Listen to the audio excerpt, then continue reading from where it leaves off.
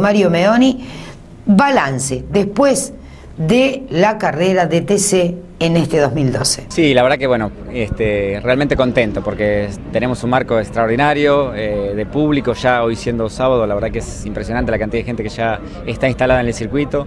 El clima es hermoso, la verdad que un día realmente primaveral, casi de verano diría, te hace calor. Eh, se está desarrollando todo en forma extraordinaria, así que la verdad que estoy muy contento de, lo que estamos viviendo hoy en el, autódromo y feliz este, porque lo que uno pensaba eh, cuando empezamos el proyecto del autódromo realmente lo podemos ver plasmado. No fue solamente la carrera de la inauguración que por supuesto generaba este, mucha expectativa. Hoy vemos que no es solamente una carrera, que realmente el autódromo es una inversión este, adecuada por el impacto que está teniendo con, toda la gente que nos está visitando, lo que significa para, para Junín y para, la región esto es realmente extraordinario. Así que bueno, feliz de que lo que uno pensó, lo que uno soñó, lo ve plasmado eh, y reitero, no una sola vez cuando fue la inauguración, sino que lo vemos este, en forma reiterada durante el año y el impacto económico que eso significa en Junín, el impacto de promoción de Junín realmente nos, nos llena de, satisfacción. Estuve dando una vuelta por el Parque Natural Laguna de Gómez, charlando con los que tienen este, casillas este, allí, este, los bungalows y demás, todo absolutamente colmado, realmente está trabajando todo el mundo. Este, hoy el movimiento en Junín fue extraordinario anoche también, esta noche seguramente va a ser igual.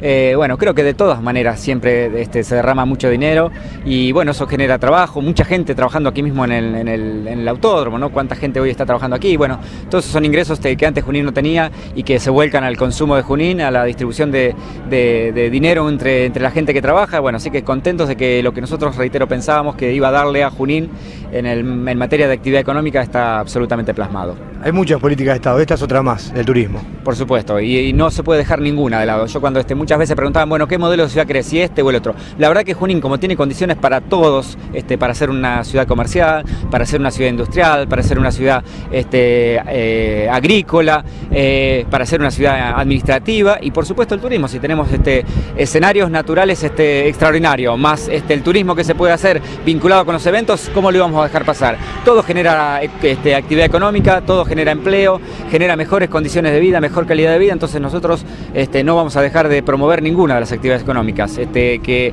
mejoran la calidad de vida de los junienses, y entre ellos el turismo y el, deporte es una de las cosas que más actividad genera, por eso nosotros creo que estamos este, tan contentos de la repercusión que está teniendo esto y otras acciones que están teniendo otras instituciones de Junín que también tienen impacto, como Sarmiento, como Argentino, este, como Lucas Matisse que ha sido campeón de box, este, bueno, la verdad que este, todas esas cosas ponen a Junín en un escenario extra extraordinario y bueno, este, felices de que lo que nosotros soñábamos, imaginábamos, finalmente se está dando.